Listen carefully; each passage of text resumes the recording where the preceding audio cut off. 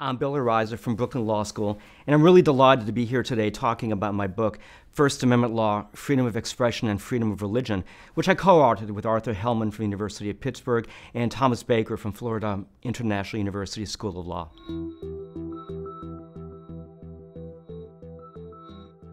Our casebook is driven by a philosophy that, in the First Amendment area, the cases are the law and the law is the cases the text of the First Amendment is notably sparse and doesn't by itself answer difficult speech, press, and religion questions. For that reason, it becomes crucial for students to understand what the justices actually say about the First Amendment and, more importantly, more deeply, what their philosophies of the First Amendment are.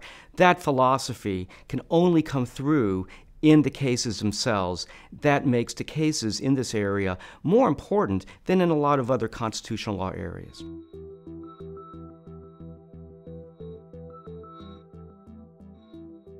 Our philosophy influenced the content of the book in three distinct ways. First of all, Given the importance of the cases, we edited the cases with a very light touch. We kept in the justices thinking about the basic theory of free speech, free press, and free religion, uh, and we did not overly chop that more theoretical discussion out of the cases. Um, that, of course, meant that we needed to make some careful decisions about which cases to include, given that we were including large, longer than normal excerpts of the particular cases. Second of all, again, given the importance of the cases, we kept in more citations in the opinions themselves than is normally the case in a casebook.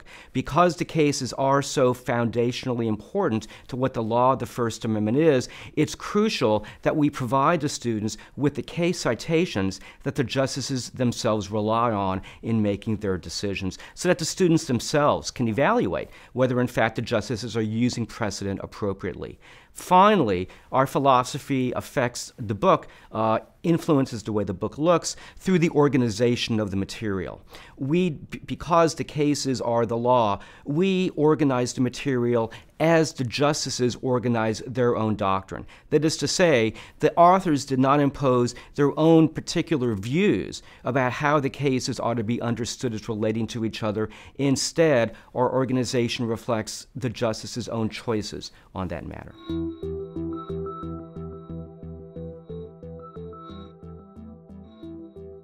Because First Amendment law is, in fact, so theoretical and sometimes difficult for students to grasp, we made extensive use of problems.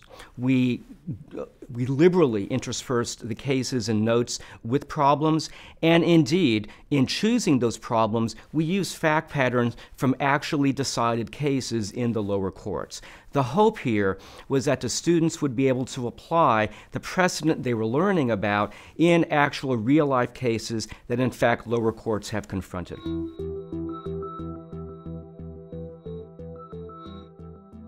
The book does have a teacher's manual. We gave very careful consideration to what ought to be in the teacher's manual. So, for example, we were very careful to provide full explanations of every major part of the book, every major piece of content. Every case, every note is fully explained in the book.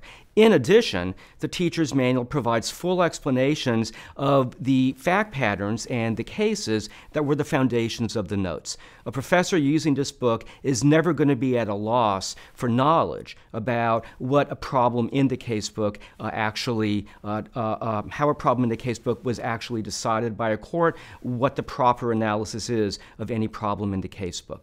In addition, the teacher's manual went further and provided even greater number of problems, problems that we thought maybe didn't warrant inclusion in the actual book itself, but that if, if a teacher wanted to use them, uh, uh, uh, could in fact use uh, in the course of a class discussion, or frankly, even as an exam problem. All that's in the teacher's manual. Finally, uh, the teacher's manual includes a variety of syllabi that a teacher can use when constructing his or her own course. First Amendment law can be taught in a lot of different ways, and in constructing and including these sample syllabi, we tried to provide a broad variety of pedagogical approaches.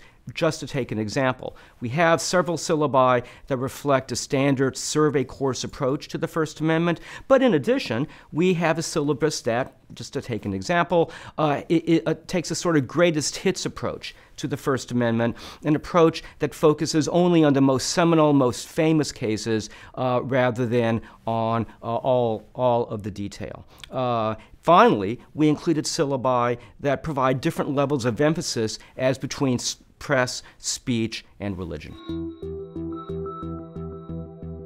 Simply put, in writing this book, my colleagues and I aspire to write a book that was unobtrusive in the sense that it let the justices speak for themselves, but at the same time, a book that allowed students to grapple with the difficult issues that are raised by First Amendment cases by including problems. Problems, again, which the professor has full access to the analysis of in the teacher's manual.